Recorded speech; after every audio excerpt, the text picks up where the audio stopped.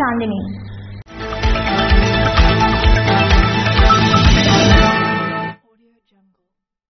జగనన్న చేయూత దరఖాస్తులను పరిశీలిస్తున్నామని పోలాకి ఎంపీడీఓ ఈశ్వరరావు తెలిపారు. రాష్ట్ర ప్రభుత్వం మూడో విడత జగనన్న చేయూత కార్యక్రమానికి శ్రీకారం చుట్టడం జరిగిందని పోలాకి ఎంపీడీఓ ఈశ్వరరావు తెలిపారు.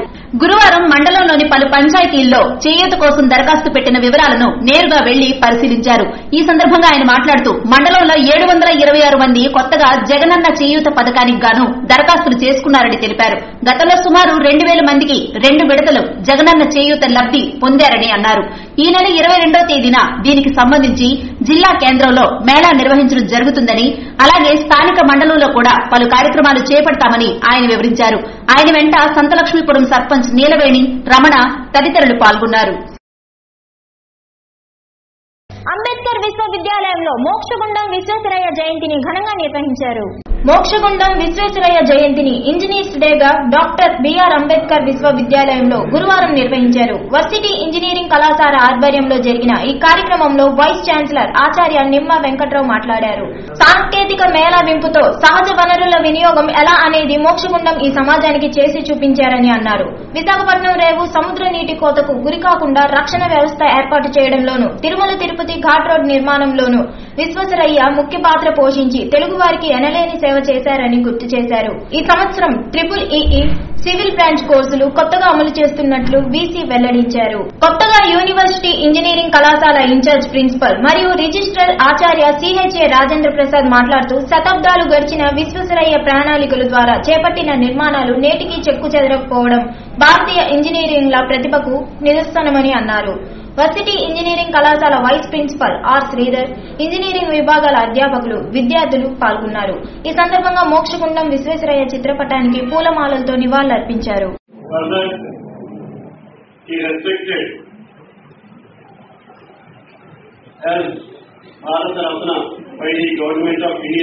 in the year 1955. Engineers day national engineers day honour and master birth anniversary Bharat Ratna sir Mokshagundam Visvesvaraya గారు who was India India most prolific civil engineer economics salesmen రాజధాని రైతుల పాదయాత్రను ప్రజలు స్వాగతిస్తున్నారని మాజీ మంత్రి కళా వెంకట్రావు తెలిపారు. రాజాం తెలుగుదేశం పార్టీ క్యాంపు కార్యాలయంలో నిర్వహించినటువంటి మీడియా సమావేశంలో మాజీ మంత్రి తెలుగుదేశం పార్టీ పాలిట్ బ్యూరో సభ్యులు కిమిడి కళా వెంకట్రావు పాల్గొని రాజధాని రైతుల పాదయాత్రను ప్రజలు స్వాగతిస్తున్నారని అన్నారు. రాష్ట్రానికి ఒక రాజధాని మాత్రమే ఉంటే ప్రపంచంలో గుర్తింపు ఉంటుందని మూడు రాజధానులు పెద్ద కుట్రగా భావిస్తున్నారని అన్నారు. మూడు రాజధానులు కేవలం భ్రమే తప్ప దిశానిర్దేశం లేని వ్యక్తి ముఖ్యమంత్రి జగన్మోహన్ రెడ్డి అని అమరావతిని ఉత్తరాంధ్ర ప్రజలు కోరుకుంటున్నారని రాష్ట్రాన్ని అగ్నిగుండంగా మార్చే విధంగా మంత్రుల మాట తీరు ఉందన్నారు. ఉత్తరాంధ్ర మంత్రుల మాటలు ప్రజలను భయాందోళనకు గురి చేస్తున్నాయన్నారు. ఉత్తరాంధ్రలో భూములను ప్రజల సొత్తును దోచుకుని రాష్ట్రాన్ని అల్లకల్లోలం చేస్తున్న వైసీపీ నాయకులకి ప్రజలు త్వరలో బుద్ది చెప్తారని అన్నారు. వైసీపీ ప్రభుత్వం మూడున్నర సంవత్సరాల్లో ఎటువంటి అభివృద్ది చేయలేదని నిరుద్యోగ సమస్య పెరిగి పరిశ్రమలు కూడా తెచ్చుకోలేనటువంటి పరిస్థితి నెలకొని ప్రభుత్వ రాబడి కూడా పూర్తిగా తగ్గిందని ఇది కేవలం ప్రభుత్వం చేతకానితనానికి నిదర్శనమని అన్నారు. తోటపల్లి మడ్డు వలస నీరు సకాలంలో అందక రైతులు నష్టపోతున్నారని అన్నారు. మూడు సంవత్సరాలుగా ఐదు లక్షల ఎకరాలకు సకాలంలో వర్షాలు పడినా డ్యాముల ద్వారా కాలువల్లోకి నీరు అందక రైతులు పూర్తిగా నష్టపోయే పరిస్థితులు ఈ ప్రభుత్వంలో నెలకొన్నాయని మాజీ మంత్రి కిమిడి కళా వెంకట్రావు వైసీపీ ప్రభుత్వంపై ఘాటుగా విమర్శలు గుప్పించారు. తెప్పడు మాట తప్పడు. ఆయనకి కనిపించేదంతా డబ్బు తప్ప ఇంకేమీ కనపడటం లేదు. ఈ రాష్ట్రంలో ప్రజల గురించి ఆలోచన కానీ అభివృద్ధి కోసం కానీ ఓ మంచి రాజధాని ఉండాలనే విషయంలో కానీ లేదు ధరలు పెరిగిపోతున్నాయి ప్రజలు సామాన్యులు జీవించలేకపోతున్నారు అనేటటువంటి ఆలోచన కానీ గ్రామాల్లో స్వచ్ఛతపై సేవా కార్యక్రమాలను చేపట్టాలని ఎంపీడీఓ ఈశ్వరరావు ఆదేశించారు. ప్రతి గ్రామ పంచాయతీలో స్వచ్ఛత హైసేవ కార్యక్రమాలు నిర్వహించాలని పోలాకి మండలం ఎంపీడీఓ ఈశ్వరరావు ఆదేశించారు. గురువారం పోలతి మండల కేంద్రంలోని స్థానిక సచివాలయంలో స్వచ్ఛత ఈ సేవా కార్యక్రమంలో భాగంగా గ్రామ సచివాలయంలో గ్రామ సభ నిర్వహించారు. ఈ కార్యక్రమానికి ముఖ్య అతిథిగా పాల్గొన్న డీసీసీబీ అధ్యక్షులు కరిమి రాజేశ్వరరావు మాట్లాడుతూ గ్రామాల్లో పారిశుధ్యం పట్ల వాలంటీర్లు పంచాయతీ కార్యదర్శులు తప్పనిసరిగా దృష్టి సారించాలని తెలిపారు. దీనిలో అన్ని వర్గాల వారిని కలుపుకొని ప్రతి గ్రామం పరిశుభ్రతగా ఉండే విధంగా చేయాలని స్పష్టం చేశారు. అప్పుడే ప్రతి ఒక్కరూ సంపూర్ణ ఆరోగ్యంతో మెలిగే అవకాశం ఉంటుందని వివరించారు. ముఖ్యమంత్రి వైఎస్ జగన్మోహన్ రెడ్డి ఈ కార్యక్రమాలను ఈ నెల పదిహేనో తేదీ నుండి అక్టోబర్ రెండో తేదీ వరకు ప్రతి సచివాలయ పరిధిలో సమావేశాలు నిర్వహించాలని ఆదేశాలు ఇచ్చారని దీన్ని తప్పనిసరిగా పాటించాలని కోరారు. ఈ కార్యక్రమంలో స్థానిక ఎంపీటీసీ ప్రతినిధి తూలుగు అశోక్ కుమార్ సచివాలయ ఉద్యోగులు వాలంటీర్లు స్వయం శక్తి మహిళా సంఘ సభ్యులు తదితరులు పాల్గొన్నారు.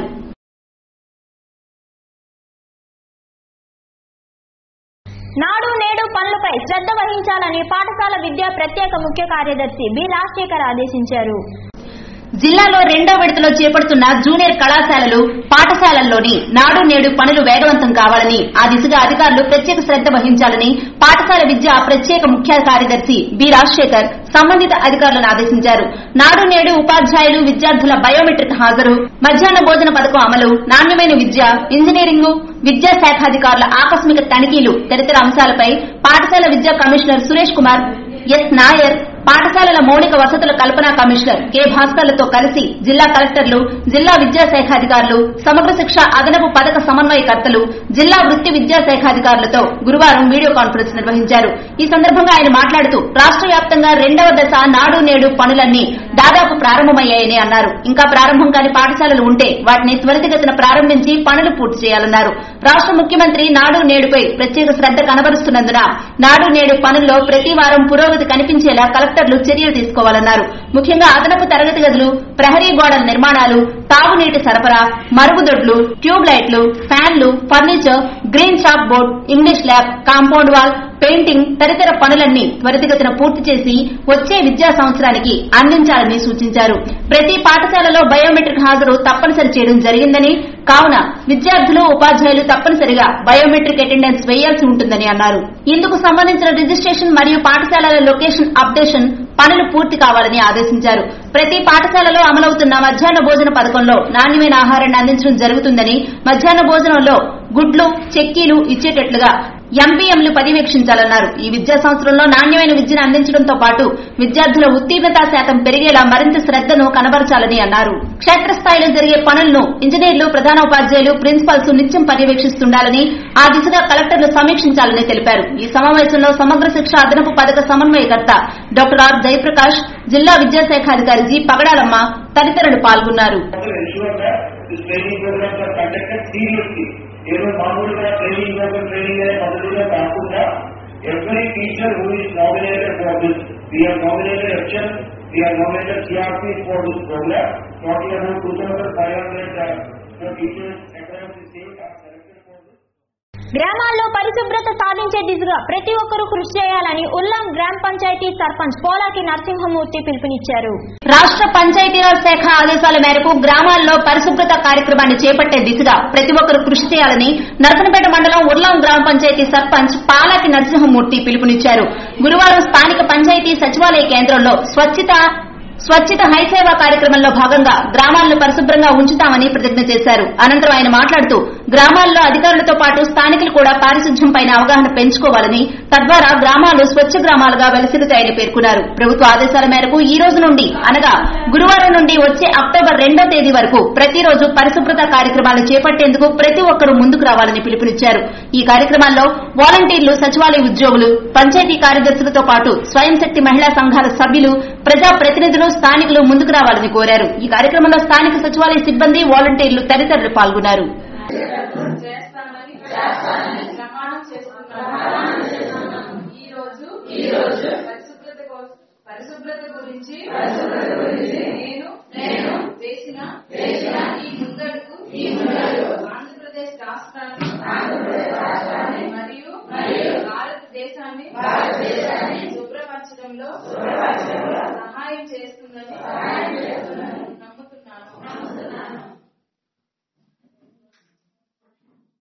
నర్సంపేట మండల కేంద్రంలోని విద్యుత్ శాఖ కార్యాలయంలో యుద్ధ ప్రాతిపాదికన మెయింటెనెన్స్ కార్యక్రమాలు చేపట్టారు.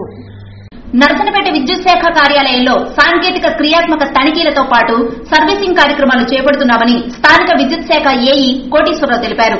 గురువారం ఉదయం ఈ మేరకు శ్రీకాకుళం నుండి ప్రత్యేకంగా విద్యుత్ సిబ్బంది ఈ పనులను చేపడుతున్నారని వివరించారు. ప్రతి ఆరు మాసాలకు ఒకసారి క్రియాత్మక తనిఖీలతో పాటు సర్వీసింగ్ కార్యక్రమాలు చేపట్టడం ఒక విధిగా కొనసాగుతుందని ఈ క్రమంలోనే వీటి పనులను చేపడుతున్నామని స్పష్టం చేశారు.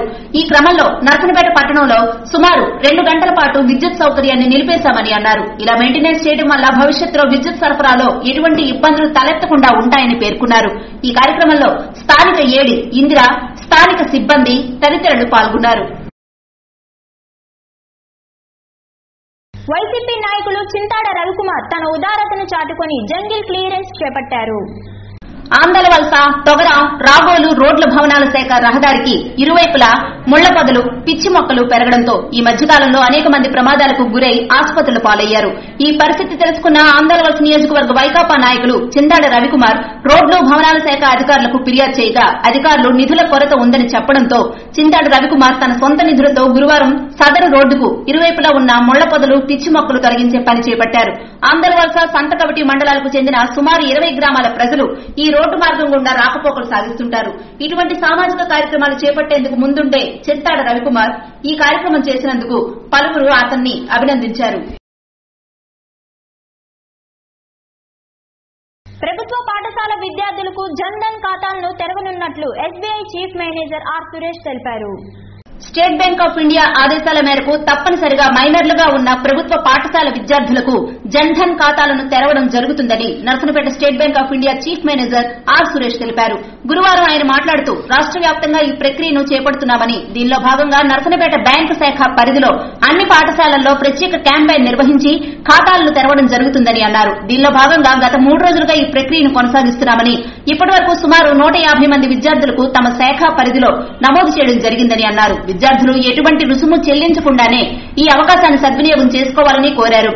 ఇటీవల కాలంలో ప్రభుత్వ పథకాలు చాలా వరకు విద్యార్థులకు నేరుగా అందుతున్నాయని ఈ దిశగానే ఈ కార్యక్రమాన్ని చేపడుతున్నామని స్పష్టం చేశారు. తమ శాఖ పరిధిలో ఉన్న ఎస్బీఐ బిజినెస్ కన్సల్టెన్సీ ద్వారా ఈ కార్యక్రమాన్ని నిర్వహిస్తున్నామని ఐదు సంవత్సరాల నుండి పద్దెనిమిది సంవత్సరాల లోపు విద్యార్థులు సద్వినియోగం చేసుకోవాలని అన్నారు. ఇప్పటికే ప్రధాన ఉపాధ్యాయులకు అందరికీ సమాచారం ఇచ్చామని ఆయా పాఠశాలల్లోనే కాకుండా తమ శాఖ ప్రాంగణంలో కూడా ఈ అవకాశాన్ని కల్పిస్తున్నామని పేర్కొన్నారు. ప్రభుత్వాలు మారినంత మాత్రాన పనులు నిలుపుదల చేయడం భావ్యమా అని సారవకోట మండలం టీడీపీ అధ్యక్షులు కత్తిరి వెంకటరమణ విమర్శించారు. సారవకోట మండల టీడీపీ అధ్యక్షులు కత్తిరి వెంకటరమణ మాట్లాడుతూ మండల పరిధిలో పెద్దలంబా నుండి వాబా వయా గోవర్ధనపురం రహదారికి నాటి తెలుగుదేశం ప్రభుత్వంలో నరసనపేట శాసనసభ్యులు బగ్గు రమణమూర్తి కృషితో ప్రభుత్వ దృష్టికి తీసుకుని వెళ్ళడమే తరువాయి. తక్షణమే పీఆర్ ప్లాన్ నిధుల నుండి సున్నా పాయింట్ ఏడు ఐదు కోట్ల రూపాయలు మంజూరు చేసి టెండర్లు పూర్తి చేసుకుని రెండు వేల పద్దెనిమిది డిసెంబర్ పన్నెండో తేదీన రహదారి భూమి పూజ చేసి రహదారి పనులు శరవేగంగా రోడ్డు పనులైన బెన్స్ డ్రైనేజీ పూర్తి చేసిన పిదప సాధారణ ఎన్నికల్లో వైఎస్ఆర్ ప్రభుత్వం రావడంతో స్థానిక శాసనసభ్యులు ధర్మాన కృష్ణదాస్ ఉప ముఖ్యమంత్రి హోదాతో పాటు ప్రధానమైన రెవెన్యూ అండ్ ఆర్ఎండ్బీ శాఖలు కేటాయించడంతో సారవకోట మండలంతో పాటు నియోజకవర్గ ప్రజల అభివృద్ది పనులు శరవేగంగా జరుగుతాయని సంతోషం ఎంతో కాలం నిలవలేదని ఎక్కడ పనులు అక్కడే అన్న చందంగా బొంతు లిఫ్ట్ ఇరిగేషన్ పనులు ఇరిగేషన్ పనులు mega water scheme Bonthu Temburu రహదారుల పనులు బొమ్మికపేట అశోకం తర్లి సవరకురిడింగి తదితర రహదారులకు నిధులు మంజూరు చేసి పనులు ప్రారంభించినా నేడు వైఎస్సార్ ప్రభుత్వంలో ఆపేయడం బాధాకరమని అన్నారు.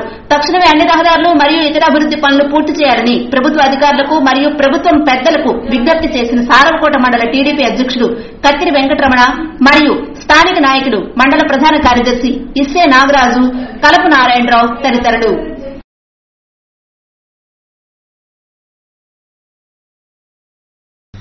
హోంగార్డ్ కుటుంబానికి ఆదుకున్న సహోద్యోగులకు అభినందనలు తెలిపిన ఎస్పీ జిఆర్ రాధిక. జిల్లా హోంగార్డుల ఒక్కరోజు వేతనం చెక్కును. హోంగార్డు కుటుంబానికి ఎస్పీ రాధిక చేతుల మీదుగా అందజేశారు. గురువారం జిల్లా పోలీసు కార్యాలయంలో జిల్లా హోంగార్డు విభాగానికి చెందిన శ్రీకాకుళం యూనిట్ నందు విధులు నిర్వర్తిస్తూ గత నెల ఉద్యోగ విరమణ చేసిన ఎన్ చిన్నారావుకు జిల్లాలోని హోంగార్డులు స్వతహాగా విరాళంగా ఒకరోజు వేతనాన్ని నాలుగు లక్షల రూపాయల ముప్పై ఒక్క వేల రూపాయల చెక్కును జిల్లా పోలీస్ కార్యాలయంలో ఎస్పీ చేతుల మీదుగా అందజేశారు. ఈ సందర్భంగా జిల్లా ఎస్పీ మాట్లాడుతూ ఏ సహాయం కావాలన్నా పోలీస్ శాఖ ఎల్లవేళలా మీకు తోడుగా ఉంటుందని మీకు శాఖాపరంగా రావాల్సిన ప్రయోజనాన్ని ప్రయోజనాన్ని త్వరితనాన్ని త్వరితగతిన త్వరితగతిన వచ్చేలా చూస్తానని భరోసా ఇచ్చారు. ఈ కార్యక్రమంలో అదనపు SP K. Srinivasa Rao RI B. Pradeep పాల్గొన్నారు. జలుమూరు మండలం రాణా గ్రామంలో అగ్ని ప్రమాదం. రెండు పూరిళ్ళు దగ్ధం. జలుమూరు మండలంలోని రానా గ్రామంలో గురువారం ఉదయం జరిగిన అగ్ని ప్రమాదంలో రెండు పురిళ్ళు దగ్ధమయ్యాయి. స్థానికులు అందించిన సమాచారం మేరకు స్థానిక గ్రామంలో నివాసం ఉంటున్న కిమిడి సింహాచలం మరియు కిమిడి తేజ రజక వృత్తి చేసుకుంటూ జీవనం కొనసాగిస్తున్నారు. రోజువారీ జీవన విధానంలో భాగంగా గురువారం ఉదయం తమ ఇళ్ళకు తాళాలు వేసుకుని బయటకెళ్ళారు. అయితే సుమారు పది గంటల సమయంలో విద్యుత్ షార్ట్ సర్క్యూట్లో రెండు ఇళ్ళు అగ్నికి ఆహుతయ్యాయి. మరియు ఇరువురి ఇళ్ళలో సుమారు ఏడు లక్షల రూపాయల నగదు ఆరు తులాల బంగారం కట్టుకున్న బట్టలు ఒక బీరువా గ్యాస్ పొయ్యితో పాటు సిలిండర్ కూడా అగ్నికి ఆహుతయ్యాయి. సమాచారం అందుకున్న అగ్నిమాపక సిబ్బంది ఘటనా స్థలానికి చేరుకుని మంటల్ని అదుపు చేసింది. మండల తహసీల్దార్ సత్యం ఆదేశాల మేరకు వీఆర్ఓ ఆదినారాయణ అగ్ని ప్రమాద బాధితుల వివరాలను సేకరించారు. ప్రభుత్వం తరపు నుండి తమ వంతు సహకారాన్ని అందిస్తామని రెవెన్యూ అధికారులు తెలిపారు.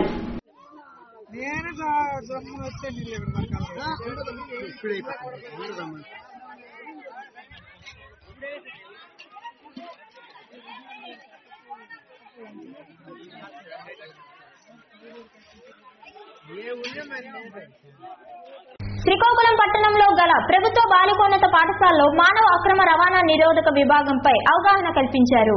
శ్రీకాకుళం పట్టణంలో గల ప్రభుత్వ బాలికోన్నత పాఠశాలలో మానవ అక్రమ రవాణా నిరోధక విభాగం జిల్లా పోలీస్ ఆఫీసర్ జిల్లా ఎస్పీ జిఆర్ రాధిక ఆదేశాల మేరకు ఏఎస్ఐటి రమణమూర్తి అలాగే చైల్డ్ లైన్ జిల్లా counsellor U Meharvani team member D B Rajulu ప్రభుత్వ బాలిక ఉన్నత పాఠశాల హెచ్ఎం వాగ్దేవి సమీక్షంలో విద్యార్థులకు బాల్య వివాహాల నిర్మూలన పిల్లల అక్రమ రవాణా లైంగిక వేధింపులు ఆత్మహత్యలు ప్రేమ పేరుతో మోసాలు చైల్డ్ లేబర్ తదితర అంశాలపై విద్యార్థులకు అవగాహన కార్యక్రమం చేపట్టారు. ఈ సందర్భంగా ఏఎస్ఐడి రమణమూర్తి జిల్లా కౌన్సిలర్ మెహర్వానీలు మాట్లాడుతూ ప్రస్తుత సమాజంలో పిల్లలు అక్రమ రవాణా అలాగే లైంగిక వేధింపులు ప్రేమ పేరుతో మోసాలు ఆత్మహత్యలు చాలా ఎక్కువగా ఉన్నాయని ప్రతి విషయంలో ఏ ఒక్కరూ మోసాలకి గురి కావద్దు అని జాగ్రత్తలు పాటించాలని సూచించారు. మనం జాగ్రత్తగా ఉన్న ప్రేమ పేరుతో మోసాలు చేస్తున్నారని ఏ ఒక్కరూ నమ్మవద్దని జాగ్రత్తలు పాటించాలని తెలిపారు. వేశ్య వృత్తిలోకి పిల్లలచే భిక్షాటన చేయించిన సందర్భాలు కూడా చూస్తున్నామని జాగ్రత్తగా ఉండాలని తెలిపారు. ఏ ఒక్కరికైనా ఎటువంటి సమస్య ఎదురైనా child line number one zero nine eight అలాగే one zero zero one one two one eight one help line నెంబర్లకు ఫోన్ చేస్తే తమ సిబ్బంది వెంటనే చేరుకొని తక్షణమే సమస్యను పరిష్కరిస్తారని ఏ ఒక్కరూ అధైర్యపడొద్దు అని విద్యార్థులకు ధైర్యాన్ని ఇచ్చారు. హై స్కూల్ హెచ్ఎంఎం వాగ్దేవి మాట్లాడుతూ విద్యార్థులకు చాలా ఉపయోగకరమైన అవగాహన కార్యక్రమాన్ని చేపట్టిన పోలీస్ వారికి చైల్డ్ లైన్ వారికి ధన్యవాదాలు తెలిపారు. ఈ కార్యక్రమంలో ఉపాధ్యాయులు ఆర్ లక్ష్మి పి. వసంత కుమారి విద్యార్థులు తదితరులు పాల్గొన్నారు.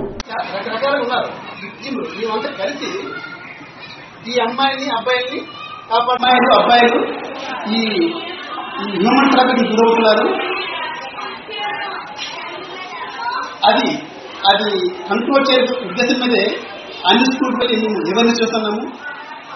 ఈ ఈవెంట్ భాగంగా చాలా మంది అక్రమ లాభం లాభంగా లాభంగా కోసం ఈ పిల్లల్ని విదేశాలకు ఇతర దేశాలకు అధిక లాభం పొందడానికి అక్రమ లాభం పొందడానికి గుడ్ ఈవినింగ్ ఈరోజు మా స్కూల్కి చైల్డ్ లైన్ పై పెంచడం కోసం చైర్లను లైన్ మెంబర్ ఇంకా ఏఎస్ఐ గారు వచ్చారు. వాళ్ళు చైల్డ్ లైన్ నుంచి వచ్చిన మెంబర్ గారు మాట్లాడి మన ఊళ్ళో చాలా చైల్డ్ మ్యారేజెస్ ఇంకా చైల్డ్ లేబర్ జరుగుతున్నాయి. ఇంకా మాకు తెలియని విషయాలు కూడా చాలా చెప్పారు. అండ్ ఏఎస్ఐ గారు ఏం చెప్పారంటే ఇవ్వండి ఇవండి ఈనాటి ఎస్ఎస్ఎస్ విశేషాలు. State Yoon to SS news